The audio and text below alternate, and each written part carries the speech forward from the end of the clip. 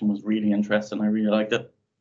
So um, my session for today will be around Teams governance and how we can use automation to fill gaps in the native Microsoft technology. So Microsoft have a huge amount of tools available to us to govern teams and manage this beast, but a lot of it requires configuration and manual effort. So how do we bring automation skills into that and improve it? So first, a little bit about me. Um, I work at a company called Ergo Group based in Ireland. We are a Microsoft partner, MSP, CSP. Um, we have a wide range of customers from SMBs to enterprise, global enterprise customers. Um, there, I'm the modern workplace practice lead. So my team deal directly with our customers, giving consultancy around all aspects of modern workplace. Um, I've been specializing in Microsoft technology for about 10 years now. Um, and my work, as you can tell from the title, does focus on Microsoft 365 and specifically cloud security, because a lot of the times what we'll find is enabling services is, is quite straightforward, right? But it's how you scale and how you secure that that becomes the challenge, and that's why you need you need those consultants who've been through that. Um, because we deal with multiple large organizations, we have to use automation. We don't have um, the benefit of doing tasks manually at that scale. Um, and as was mentioned, um, I blog pretty much daily. Um, my blog address is there, and I'll update contact details at the end of the session. And then just for anyone, I don't have a development background. I come from an infrastructure background, Microsoft 365, then came from that. Um, you'll see I use PowerShell a lot, and I use the different tools um, but not a distinct background in development.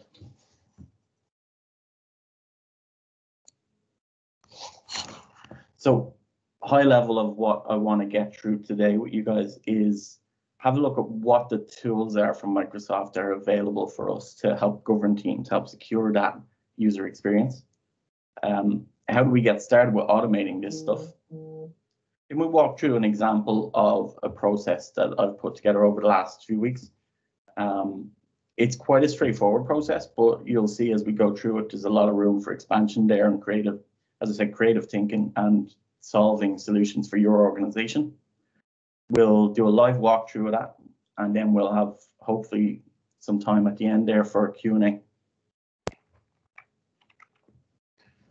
Okay, so what's the challenge with Microsoft Teams? Because um, people want it, right? It's it's not hard to sell. Um, it's an amazing tool of collaboration. It's a game changer for a lot of companies, especially over the last year, year and a half, nearly now, where there's a lot of working from home. So there's a lot of focus on that um, meetings, collaboration, all that remote work stuff that Teams does so well. Um, but because Teams does it so well, and because Teams is so easy to use, we end up in a situation that we had with SharePoint previously, right, where we've got sprawl. Uh, sprawl is a real problem for a lot of large organizations. Out of the box, teams and group creation is really easy for users. They can just go in, request a new team. Um, I speak to customers to this week that they've actually got more teams or more Office 365 groups than they do users. And there can't be a need for that, and they don't know where their data is. So some of the questions that people ask me is, where does my data live? Like, is it in Teams? Is it in SharePoint? What kind of data? Who can access it? Is, is this secure? So these types of things, as Teams kind of like a train just goes, it adopts across our business. We gotta find a way that we can manage that uh, that growth, not stop it, as you'll see. Um, but we need to be able to provide the correct governance and security on it. And it's important that we, when we do that, that we don't become a blocker for the business, because then you get people using shadow IT and all different types of products, such as Dropbox, where they, they will find a way to share. So we gotta secure it without getting in their way. So looking at some of the tools available to us. Excuse me. Um, so obviously Teams is based on Office 365 groups. So our group tools apply to us. So we've got Office 365 group expiration, which is really cool. It means that groups can't hang around when they have legacy data in there. Someone needs to consciously renew that. Uh, we've got naming policies. So we can give our groups a somewhat rigid naming convention that I'm not a big fan of, which we'll touch on as we go through this. Um, we've got e-discovery and content search, the standards for discovering the data in, in the organization.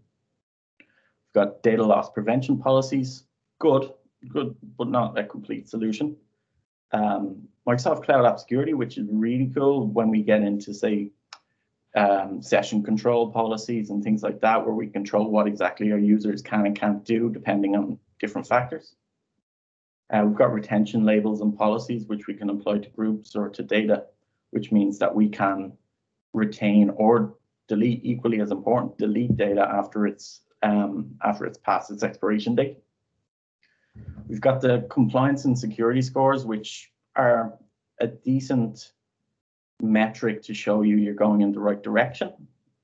Um, I, I won't say that I love the compliance and security scores because in a enterprise environment, we don't just have Microsoft technologies and the compliance and security scores only measure Microsoft technologies. So we may have a massive gap on our security score, for instance, but that doesn't necessarily mean we have a massive gap in our organization because we've got we don't have Azure MFA, we have Duo MFA, and that's not going to give us those points. So, you know, they're a good guideline. Um, access reviews and packages are pretty exciting. Now, the license they require E5 license, and so not everybody will be able to use that. But um, being able to make access available and reviewable to different groups and different packages of uh, locations throughout Microsoft 365 is really handy. Now, some of the ones that we'll focus on today is um, sensitivity labels. Sensitivity labels as they apply to Office 365 groups is a really cool piece of functionality that I really like and something that we're going to use as part of our automation. Uh, SharePoint sharing policy. So teams at the back end we've got SharePoint there for all the storage. We've got to account for that. Uh, conditional access app control. So should a um, should somebody be able to download a document if they're coming from an unknown device uh, from an unknown location? Um, group creation control. So as I said, when we out of the box greenfield tenancy, anybody can create a group, anybody can create a team.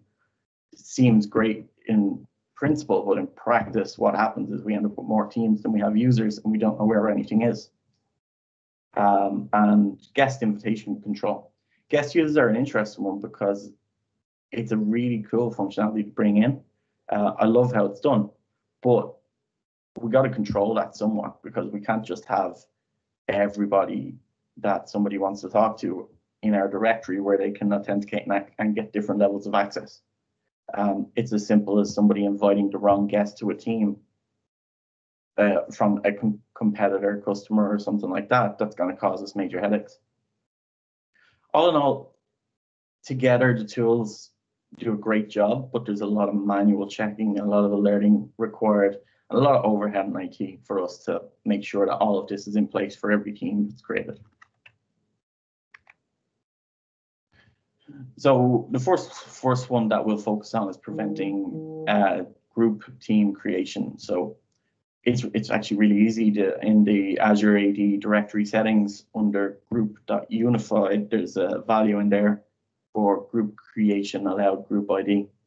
All, all we need to do here is specify um, the object ID of an Azure AD group, security group, and we can make sure that only members of that group um, will be available to create an Office 365 group or a team or a planner or whatever that they're trying to create. Now, that's the first step to stop the sprawl of teams, like everybody's creating teams and it's a big panic. But when we do this, we got to make sure that we provide them another way to get that cool collaboration experience that they've got now. Because if we just outright block it, people will find a way around and people start using shadow IT. And that's not what we want. When we talk about security, we want people to use the products that we're making available to them, but we want to make sure that they're used in the right way. We don't want to just block people because that's never a solution. Um, SharePoint online sharing policy. So out of the box, again, everything's kind of open. And in certain organizations, that's totally fine. I've been edu educational organizations where they want that because all their students have personal email addresses that um, a lecturer wants to share out um, notes to. And they want to be able to share out to a Gmail account. But some of the financial organizations that I've worked with, that's a big problem because anybody can share anything at any time. Now, data loss prevention can help with this, but it's not it's not a perfect solution. There's always risk there. So I find personally that the safest level for this is making sure that they're a guest user in the directory and we control the guest process. And if we can control the guest process, then the sharing to guests becomes uh, safe. Um, we can still implement data loss prevention and stuff like that layered on top of it, but we're 10 times better than we were. We can also limit the sharing by uh, particular domains. So we can say we only want to share with um, our partner companies and we, we list them out. Or maybe we blacklist some domains if we're not as strict. Um, these are at the top level settings, but we can absolutely do that on a per site basis. And on a per site basis, you see it's it's quite easy to set it there from PowerShell. But that's when you start thinking, okay, but what about when somebody creates a new site? do we need to have an admin to go in and, and do this automatically? Do, do we need to trigger an alert to our service desk? Or do we need to push people to the service desk to ask to, for a site to be created? And that's not going to be a priority, ticket for our service desk. So that's not going to happen for a few days. Again, we're blocking people from doing it. Another cool feature in SharePoint Online is the um, the conditional access app control. So we can, as I mentioned earlier, we can allow limited access based on not just device as it says as it says on the in the GUI, but we can play around with the conditional access policy and we can basically through a multitude of factors define who can actually download, who can view on the web, who can access it all. Uh, um, once once we have that idea of where the different locations, what the different risk factors are, we can feed that in. Again, it can be done at a per site level. And again, if we're doing it on a per site level, what's the overhead associated with that? So you can see sort of a team here. It's like, great, we can do all this stuff. It's great. But if we want to do it, that puts us in a situation where we're going to have to do this every time a team is requested. And in a large organization, that takes up a lot of time. So if we look at the kind of controls that we spoke about already, so we've got the guest user access, we've got the unmanaged device access, external sharing, uh, group privacy, all, all that good stuff that we want to do. One cool feature um, in Microsoft 365 is sensitivity labels. So we can actually control all of these features based on group sensitivity. Um, a little bit, or completely different actually, but very close in naming to group classifications, which were available previously, which were really just a label. Whereas sensitivity labels um, actually perform tasks, configuration tasks for us when we apply them to a group. So um, a little bit of background on sensitivity labels for anyone who's not familiar with them. They evolved from Azure Information Protection labels, which in turn evolved from rights management. And it's essentially a label that applies classification or encryption or rights management or all three or a mixture to data in our environment. And that's how they started, right? So if you've got them enabled at the moment, you'll see them in your Office client where you can assign a different sensitivity or a different classification to your documents. And that's great. Um, that's great for documents. Um, we can also automatically apply these to documents um, based on things like sensitive information types, keywords, that kind of stuff. We can use them in data loss prevention policies. So we can actually say if this document is classified with this label, then we're going to stop um, this content from leaving our business through Teams or whatever. The protection on a document level stays with the document regardless of location. So if it's on a USB stick, that's totally fine. It's still protected. People still got to authenticate with the Microsoft server for that. But the real change last year was when this became sensitivity labels became available to groups. It's also available to Azure Purview and Preview now. I haven't tested that. It's something that I've been I've been wanting to test, but it does seem quite a cool feature to bring in. But groups and sites is what we'll focus on now. So what do they do? Like if we assign a sensitivity label to a group, what happens?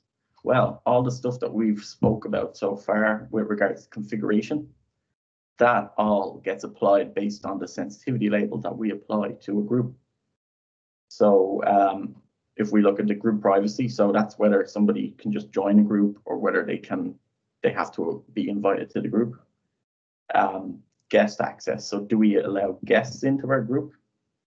Or every time I say group, you can think Teams or you can think Planner or SharePoint site. Um, external sharing. So do we want to allow this, the contents of this team planner group to be shared externally?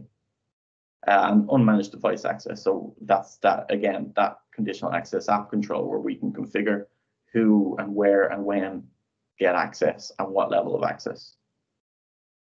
We've got a few options for assigning it. So we, we can say that there's, okay, there's a default label for all our groups, or we can create, um, or we can create label policies to make them available to users. So when they create a team or a group, for instance, they have to decide what label to apply. Again, I like that, but it's it's really not solving the problem because it's just shifting the onus to the to the end user to do that. And yeah, you, you can train and educate your users, but people can make mistakes and they're not like a lot of times they're not technical people, so they don't know the impact of making a mistake on creating a finance group and not applying a label that blocks external access. And we've got all those guests floating around in the directory. So if somebody gets invited into that, they and with Teams, you see the whole history of the chat. You get access to all the files. It's it's an easy mistake to make if it's not managed correctly. So for using Office 365 groups or sensitivity labels with Office 365 groups, there's um, a little bit of work we got to do. So the first thing we need to do is um, enable the enable MIP labels setting on the group unified directory setting. Once that's enabled, we got to run the execute Azure AD labels sync command. And what that'll do is that'll start the process of groups becoming available or sensitivity labels becoming available to Office 365 groups. It's worth mentioning that there's a few other settings in here that um, are quite handy if you're interested in them. So the allowed to add guests setting if um, we're allowed to add guest groups. Um, classification list is that legacy classification that I mentioned. It's not our sensitivity labels. So I'd start phasing that out if you are using it and move to sensitivity labels for classifying groups. Um, custom blocked word lists and the names, thing, things like that so we, we can kind of shape with these directory settings what um, what can be done or what way our group structure is set up through Azure AD. Another feature outside of sensitivity labels that I mentioned is the group naming policy. Now, it's fine.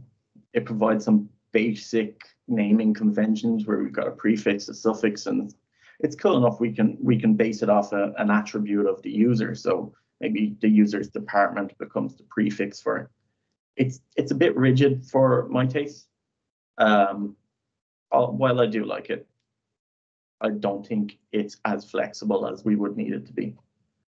Um, we can introduce block word list, words list so we, we can block particular words from becoming the name of the group. So if there's a sensitive term or even just bad language in our organization, we can um, make sure that that can't be the name of a group that users create. Well, what we can't do with naming conventions, which bothers me a little bit, is we can't differentiate between groups created for different purposes. So if we have a group that was created for Planner or a SharePoint site that was created, it's going to get the same naming convention as a team. So again, it do, it doesn't lend itself to that flexibility. So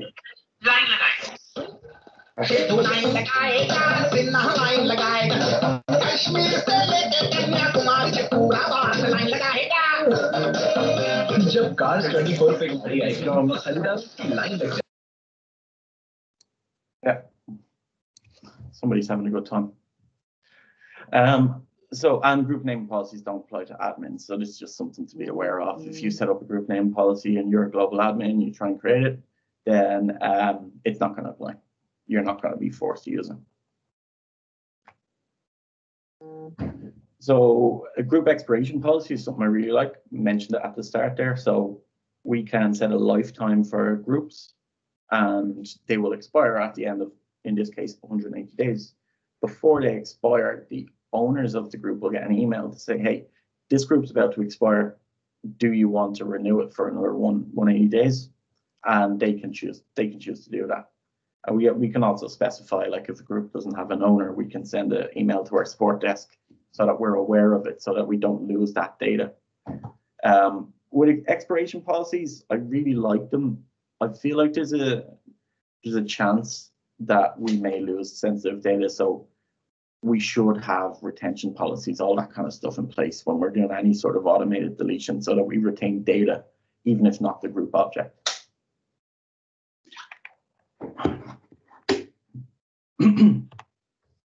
so guest user invite settings is, is another one that we mentioned. So we want to bring guests, we want that business to business collaboration in, in the organization, right? We've got partner organizations that we work with.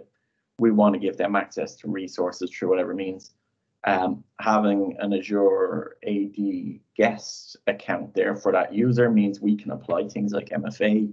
We can um, we can give them access to access to resources within our organization, but we got to control that a little bit, right? Because we don't want maybe a competitor organization. We don't want somebody brought in from there. Maybe we have some rules about who can be brought in. We definitely don't want um, private accounts if we're if we're a financial organization. We don't necessarily want a lot of, a lot of Gmail and Hotmail accounts sitting in our directory where they can see see different aspects of it. They can pull for different email addresses. They can be invited into teams, that kind of stuff. So another thing that we we do or I do when I initially begin with a customer is I disable this functionality for just anybody to be able to invite guests. But like the group creation, we got to provide another way to do it, right? And that's where automation can help us. Um, we also have that whitelist and blacklist functionality that we had with SharePoint sharing. So we can maintain, and if we get into the automation space, we can maintain through code the list of approved whitelisted domains that we will collaborate with, that we will send guest user invitations to. So how it all fits together then. So sensitivity labels, really good, really like them teams, group naming, conventions, and governance. Really like it. Paired with sensitivity labels, really cool. And then SharePoint governance on top of that, that's even better because we're now using the multiple technologies to work off each other and benefit each other, right? So we're co we're covering different aspects. But what does automation look like for? So the first step, as we mentioned, is disable users' ability to create teams and Office 365 groups by default. They're not going to be happy with that. Um, I've been there. I've been in companies where they've decided, no, we've got a thousand teams and 500 users, so we're turning off this functionality until we can get some some handle on it. Um, but we need to provide it in a different way, or else your, our users are just going to find ways around it. They'll download Slack, they'll start using Dropbox, all that kind of stuff that we don't want them to do. Um, and the way to do it is to wrap some automation around that provisioning process. So what we're taking away, we got to give them that functionality back through different means. The, the worst thing we can do is make it hard for users to do their job because Teams is such a collaborative tool and it, it's so easy to use. if we begin blocking that, then we become the bad guys in it, and then we lose faith. We lose the faith of the organization. We gotta, you know, help them. So when we're automating, uh, and you'll you'll see as I go through the demo, this is some of the tools we can use. Um, we can use Azure Automation, so we can create automation runbooks. We can use Power Apps, to provide a cool front end for our users. We can use the Microsoft Graph in the back end to reach out, create, pull things, all that kind of stuff. Um, we can use Logic Apps to manage that workflow. And we can use Azure Functions. I've just realized that says Logic Apps, but yeah, prompts, it's Azure Functions. Um, we can use Azure Functions then to provide some more autom automation. So when we're, when we're creating the solution, this is how we, we can layer it. And this isn't an, an exhaustive list. We can use all sorts of different tools here. This is just the ones that I like to use when we're when we're building a solution for this. Um, so we've got that user interface through Power, through Power Apps. We've got the the workflow management through Logic Apps and approvals built in there too. We've got some cool scripting stuff, Azure Automation and Azure Functions, and then we interact with Microsoft 365 through uh, through Graph for the most part, we we also can use PowerShell for different tasks that aren't available in Graph or may just be easier to do through PowerShell. And as you saw in um, in Joel's presentation, we can do some pretty cool authentication using scripts and stuff like that, where we don't store our credentials. And we'll we'll see a little bit of that in the in the demo that I've built.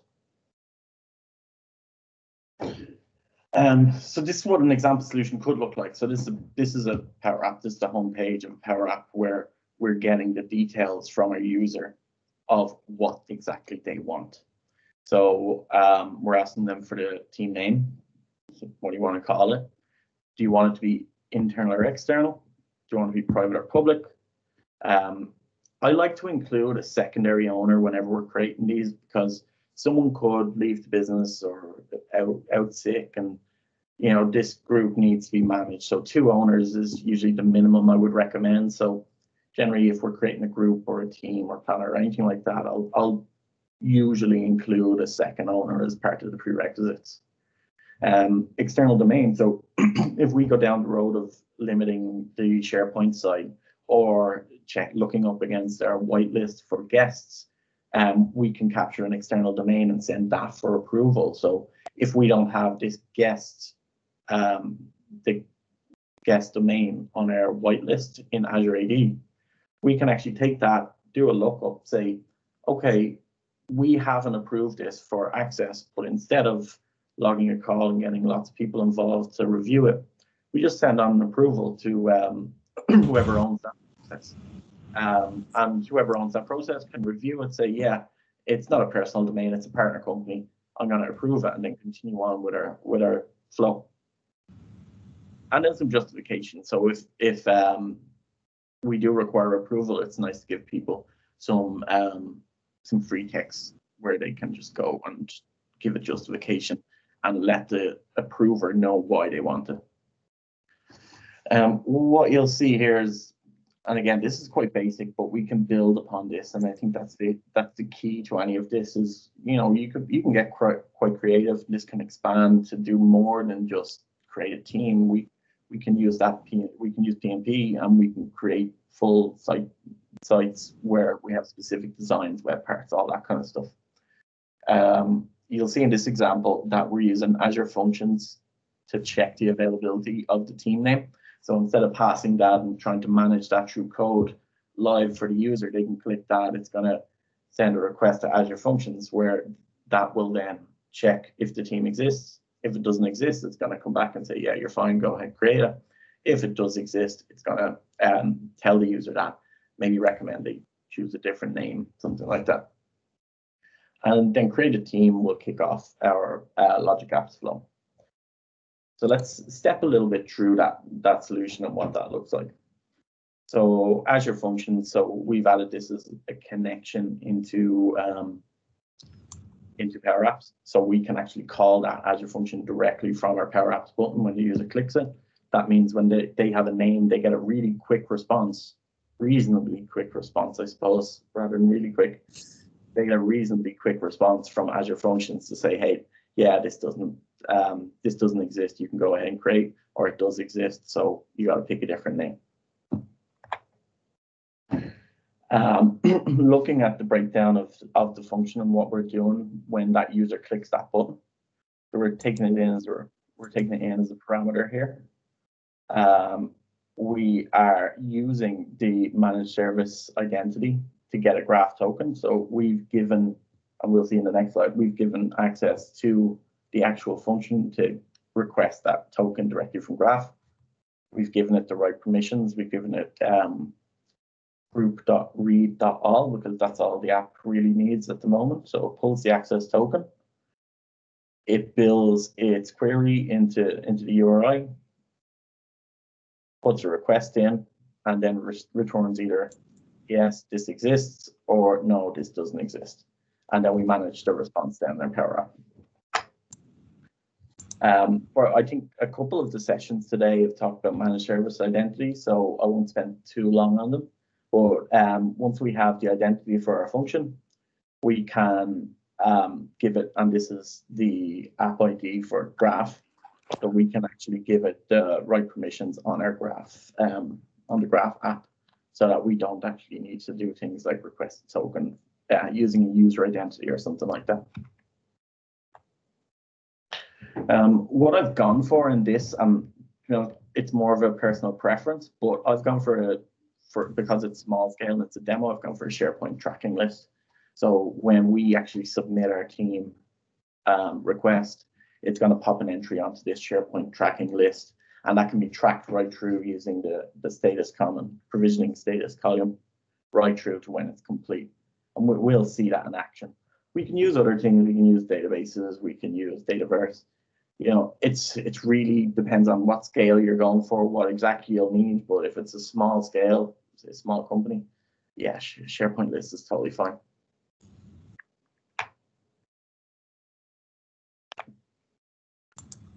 Um, so that's where we get to our logic app. So what our logic app is going to do is it's going to monitor and pull that um, that SharePoint list. And to start, what's going to happen is going to find that there's a new entry in the in the list. And when the entry is detected, it's going to update the provisioning status of that um, of that entry, the line item, to start it, to let us know as admins, okay, it's gotten this far, it's, it's started the provisioning, so what's next? Um, I've put in a check to see if the value for external is is there. And if it's an external team, I'm saying, right, we're going to send that for approval, right? Um, before we continue. If it's not an external, if it's not an external team, then it's going to just go ahead and create create the internal team because we don't really care as long as the governance is applied. Um, which so for the external team, depending on whether it's approved or not, we go down two different tracks. So if it's approved, then we go ahead and we continue on. We set the status to approved we move on. If it's rejected, then it's set to rejected. And then what we do is we're going to let the user know, hey, this team, this team was rejected. Sorry. Um, we can include other stuff like we can feed back some some comments from the from the approver to say, okay, here's why it was rejected. Um, we and the key here is that we can get really flexible and meet our business requirements. Um, this app that, I, that I'm going to go through, it's well, it does the job, it's it can be like this idea can be heavily customized, and we've got some really flexible technology to do that. so, if it's all approved and we're we're happy, we're ready to go, we can just call uh, this run um, run the Azure Automation Runbook. So I've got one in there for Teams provisioning. We've got some parameters that we take in. Uh, the name is create team. We pass in the team name. All of this comes from the from the app. So the team name, the privacy, the owner's justification, um, whether it's external or not. And if it's external, we pass through an optional uh, external domain parameter. Um, all these values have been passed on to SharePoint, um, and that's that's just kind of a handy thing to do, so you have the full view of your of your um, requests, start to finish.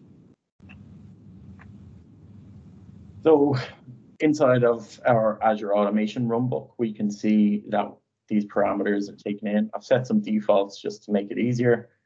Um, we take all this stuff in. I've taken it in strings here, but yeah, you you can change um, change to different um, types. It was just it, it was the easiest way when, when you're building a small scale solution like this for a demo. It's it's quite easy to just pass them through. Um, so another thing we Joel looked at in the previous session is um, using the managed service identity on the account to access Key Vault.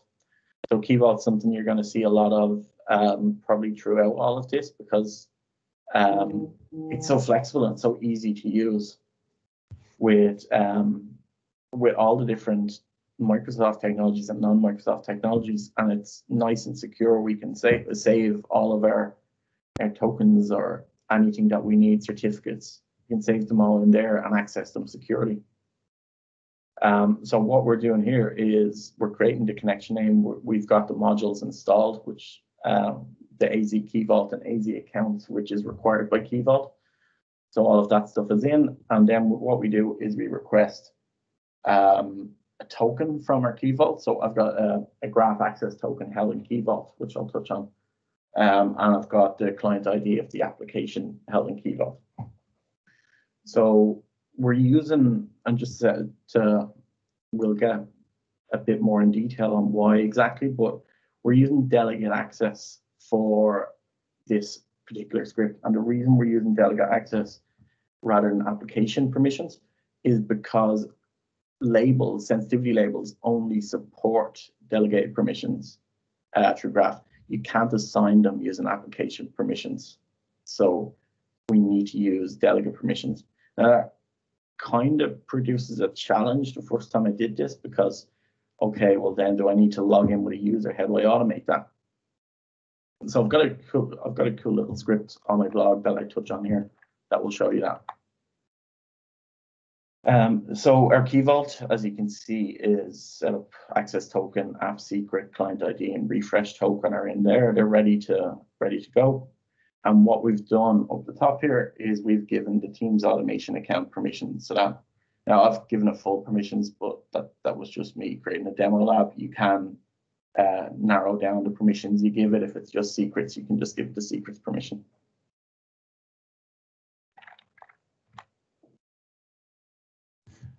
Um, the run as account, which we create in the Azure in Azure Automation. Um, if you go down to run as accounts, you can create the Azure Managed Service run as account. You can also use a classic uh, run as account and give it an identity, but we don't necessarily need to do that. So, so the MSI is much, much better, much more efficient. Um, so the run as account is created and granted access to Key Vault. You'll see the connection details there. Um, so inside of our automation runbook, we've got um, our graph query here. Yeah, we can get much more complex for what we put in here, but we um, first create an Office 365 group before we create a team. So you'll see in the body of our request here, we've got our team name, we've got our type is unified, we've got our two owners that we're mapping in, we've got label ID, which is the GUID of the sensitivity label that we've created. Um, we've got mail nickname, which is just our team name. Uh, we've got our privacy variable, which um, will tell us if it's a internal or if it's a private or public team. Um, I've got some error error right for both here, just so I can track it. And then we send a request off, and that will create the Office 365 group for us. Um, then once we have the group created, we create a team based on that group. So we use a put request We've got our uh, API URI here, and in our body, we just have some team specific settings about what, what can be done inside that team. We pass that through. Put in a sleep command here because something I noticed and um, it's probably not going to change, is the script was running too fast for the team to actually be created. It took about five seconds for that to actually show up for me to look it up, and I was getting there. So I just like to give it a little bit of time to breathe, get that get that group set up before we can convert it to a team. Um, on the delegated access uh, token. So not really the purpose of this session, but let's um, just to show you guys what how I'm maintaining that token. Um, I keep it live by using uh, Azure um, Azure Automation runbook that's scheduled to run every so often. That uses the refresh token from our access token to generate a new one. So if, if you're unfamiliar with the access tokens for Graph, you get an access token that lasts for an hour, and after that, your access token is gone. But you've got a refresh token as part of that object that you can renew your access token using that. So what happens in this script here is we actually connect to Key Vault. We pull our refresh token from Key Vault. Um, we pull the app secret, we pull the client ID, and I've hard coded the tenant ID, but yeah, we could pull that too. Um, we get our scope. So what's the actual access that's granted to this? What are we going to be using? What do we require in the token? Uh, I've got this fix up just to fix the formatting on the scope. Um, and then what we do is we request the token from this endpoint using all those details. And this is up on my blog and I can share this um, share the slide deck as well. Um, but we get the refreshed access token by calling using the refresh token. We get that new token, which we then write out the key vault as the refresh token and access token. So we've refreshed our access token and then we're writing back, here's our new access token, here's our new refresh token. So it kind of keeps that, that delegated access live. So uh, yeah, let's with that, let's jump into a quick demo walkthrough of the of the tool. Uh, so let me just pull this up.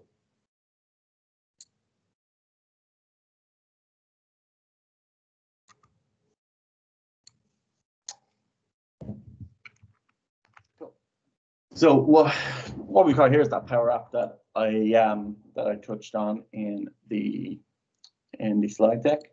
So just gonna give it a refresh because it was open for you know for a little while. We're gonna request a new team. So uh, let's call it automate. And we want uh, an external, no, let's go internal team for now. Uh, we want private or public, we want, yeah, private's fine. We want to give a secondary owner. Uh, look up our user and select it. We got this check availability, so that's going to run our function. And usually takes about 10 seconds.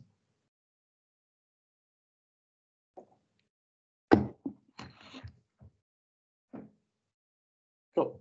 Got no errors and we can now create team. And go ahead and create that. We're going to hop over here. This is our backend SharePoint list. So we see a new internal team, uh, internal team automate is there.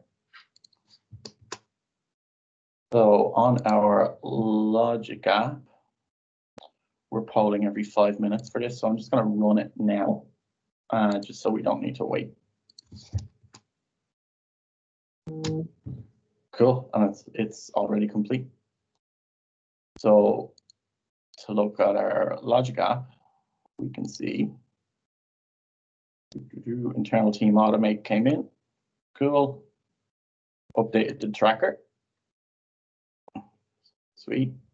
Um, does it require approval? Well, it's not external, so no, we didn't require approval. So it went here. So the tracker was updated to approved. The automation job was set. And then after the automation job ran, we completed the setup. So now, depending on how quick this is, I refresh Teams,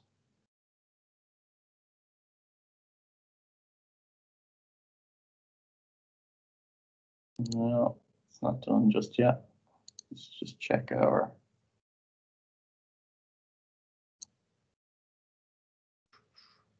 Oh, our job is running. The internal team automate.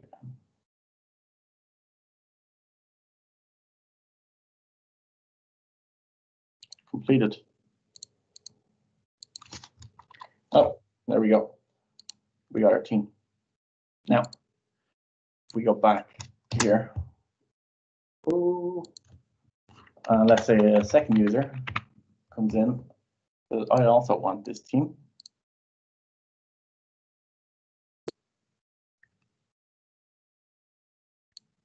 Did I spell that right? Internal team automate.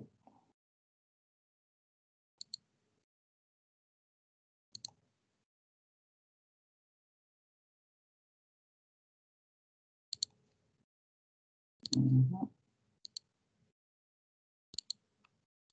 weird. That should give me an error.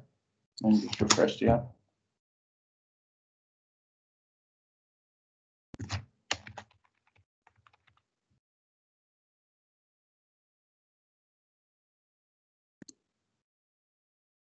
Hmm.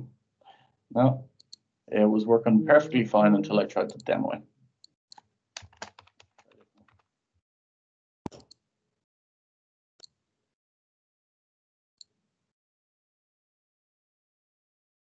No, but trust me, that should work. Uh, okay, so if we look then at our external, so if someone wants to request an external team, they get some more options here. If we want to be private, we can set Adele as the owner. Uh,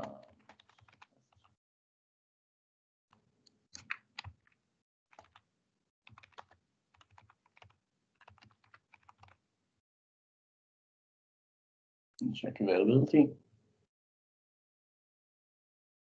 Ah, and create. So our team is being queued for provisioning. If we look at our logic app now, so we should see an entry here.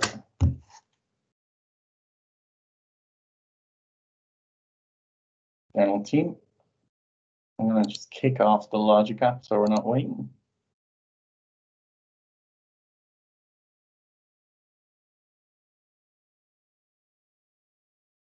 Cool, so we should have.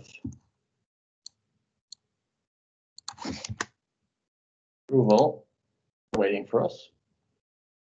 So let's approve it.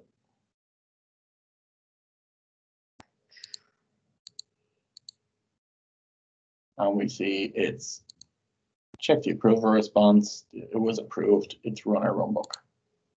We go to our runbook.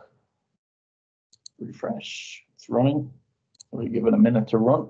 It's gonna create that external team and then it's gonna do different things based on what attributes we've passed through and what we've told it to do, so we can lock, um, we can lock down the team. So for the internal team, what we'll see. Actually, no. Who's your?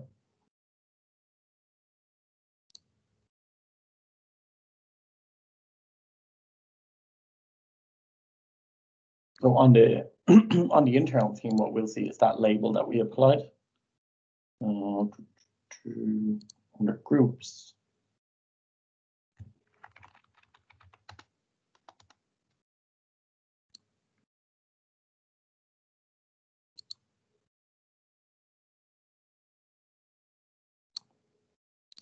Label. Get rid of for a second. Let's see, is there external one in?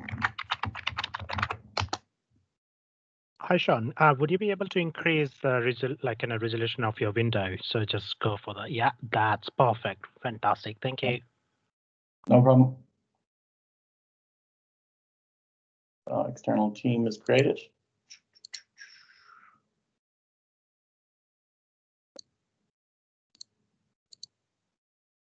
We can see external team is being given our, excuse me, our sensitivity level. So that was automatically provisioned as part of the, graph request. Now we can do other things. We can set um, set different features. We can tie in um, PnP or we can site designs, all that kind of stuff. The the benefit of this is that we can kind of get really creative and do whatever we want with it as long as we can programmatically do it, which is pretty much most things in Microsoft 365. Uh, I think the last blocker we have is one-to-one chat that I think is still not available, but that's the only thing I've run through, run into so far with this kind of solution. So we can see uh, this was completed. We can see the stuff that went through to it. And we can see that if we go to Teams now, we're a member of external team. And that team has got the, the right sensitivity label applied because it's pulled it uh, directly. So just to hop back then to our presentation. So just to summarize then, um, with these tools, you can really build your own solution with it. What I what I advise is look at Microsoft 365 security and governance as one holistic thing, not as separate aspects of it. A lot of the times I'll talk to customers and they're really interested in a specific security feature. And that's totally fine, but that security feature works so much better when you when you look at the whole instead of that individual piece. Um, don't get in the user's way because they'll find ways around it and you'll just be the bad guy then. It's hard to sell anything. Um, be creative with the problem solving. So what you've seen a quick glimpse of here is that we can kind of come up with these solutions and use the different tools available to us to get what we need done done. Um, you know, you can be as creative as you want. Tools are really flexible. Um, help provide users with a good experience. So um, one of the things you'll see with the Power App, it's got a nice Teams background. It's it's user friendly ish for something that didn't work for parts of the demo, but uh, trust me, in production, it is a lot better. Um, give the user something nice to to uh, interact with because that's going to sell for you as well. Um, and always consider as part of any of these rollouts user training and change management. Help them to understand why restrictions or why they got to do certain things instead of the way they used to do it, because that's gonna that's kind of half the battle for you when uh, when you're trying to get users to kind of change the way the way they work. Um, other just thoughts is look at expanding out on this idea because it is as flexible and it's only limited by what you can think think about to implement. Um, look at PnP for SharePoint site designs. Look at Planner, for instance. Um, you can do some cool things with, with Planner with this where um, you'll see I have one post on my blog that shows we can pull all the secure score entries right into Planner so you can assign them out to, to different members of the team. Um, look at the Microsoft Graph. It's really flexible. It's quite fun, fun to work with when you start finding the different aspects that you can control. Um, and with that, I'm gonna just open up the questions. I've um, that's the my blog and my Twitter and LinkedIn contact details there for you as well. Um, I will post them into the chat when the session is finished. Thank you for that, Sean. Fantastic, highly relevant uh, session. That's that's going to help a lot of people there. Um, there is a question by Idris Nouri who's asking, who would be the primary owner? Um, mm -hmm.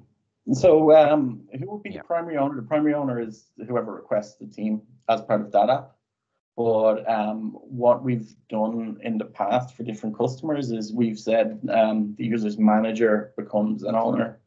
Um, and depending on, say, you can ask them what department they're in and maybe set that department head as an owner. Um, it's really down to what the business requirements are.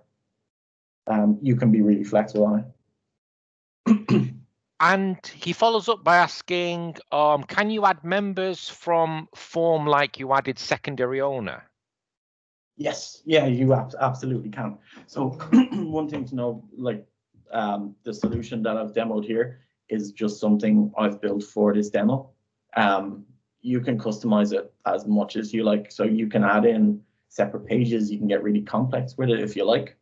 Um, you can add a member picker, that kind of stuff. Generally, one, once you're an owner, you can add people to the team anyway. So it's maybe going a little bit over the top to add a whole part of the app for that. But yeah, the answer is yes. And the final part of the question is if you don't click check for availability and go straight to create teams, will create team button check for availability and create the team if the name is available? So that's actually the issue that I ran into that but the create team button should not appear until you've checked availability. So that's um, the demo gods were against me. Awesome. Uh, lots of great feedback there. Um, saying thanks, great session. Um, great detailed coverage of governance and power, powerful demo. So it's a really good demo, hands-on. Everyone loves those demos. Um, so I think uh, it went down very, very well, Sean.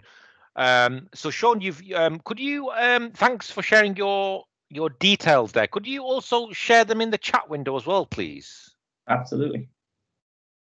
Fantastic, Sean. So I was actually excited to uh, see you in action today, Sean. Um, so I'm really glad we all got a chance to see you today in action.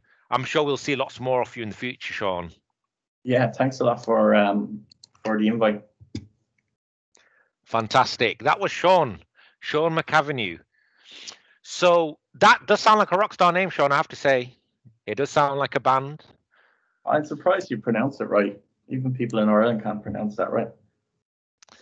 Awesome. That was Sean. That was Sean. Fantastic. It was great to see Sean. A great session. Um, everyone is using Teams um, in all the scenarios. It's a new uh, it's a new way of using collaboration for for SharePoint, so it's very very important. Um, and uh, Sean has shown you how to leverage on that and set that up correctly. So, um, so again, um, so that was that. Uh, we are going to move over to the next session while uh, Sean shares his uh,